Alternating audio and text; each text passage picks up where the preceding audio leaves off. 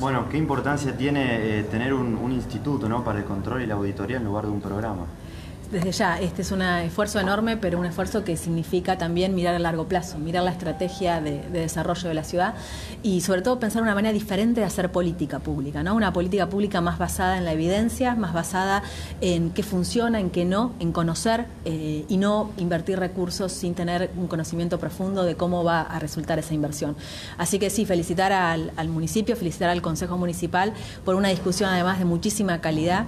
Eh, me parece que en profundidad, con los temas estudiados, como todos quisiéramos que, sea la discusión política. Así que muy, muy contentos desde CIPEC de acompañar este proceso. Bueno, y en el debate también se ha debatido mucho la cuestión presupuestaria, ¿no? Eh, ¿Ha sido también un limitante en este, en este proyecto? Me parece que es una conversación que es legítima y que cualquier este, funcionario público responsable tiene que mirar cómo se gastan los recursos y en este caso no es la excepción. Así que me parece que se puede conversar y mientras haya voluntad política de entender que esta es una función estratégica para el Estado municipal, eh, se puede llegar a un acuerdo. No soy yo quien tiene que hablar de eso, me parece que Amalia es la que más sabe. Pero bueno, eh, sí, la verdad que por supuesto que uno mira la cuestión presupuestaria y sobre todo en estos momentos de tanta crisis que afecta a las familias y afecta a los gobiernos. Tenemos que ser por demás de cuidadosos, prudentes y responsables al momento de eh, destinar los fondos públicos. Creo que justamente en estos momentos donde más responsables tenemos que ser es cuando más necesario se hace contar con evidencia científica para tomar bien las decisiones. Y las decisiones también tienen que ver con dónde se destina el recurso. Cuando nosotros podemos evaluar y monitorear los programas, los procesos, las políticas del municipio, podemos ver dónde realmente está más justificado el destino de fondos públicos y donde tal vez se pueda hacer algún tipo de readecuación, hay que hacer alguna corrección. Para eso necesitamos información, para eso necesitamos que esos datos estén procesados, analizados, estudiados por profesionales y, creo que justamente en estos momentos es donde nosotros como Estado tenemos que mantener la responsabilidad respecto a la prudencia del destino de los fondos y también la responsabilidad en la mirada no solo en la coyuntura, sino en el mediano y largo plazo también.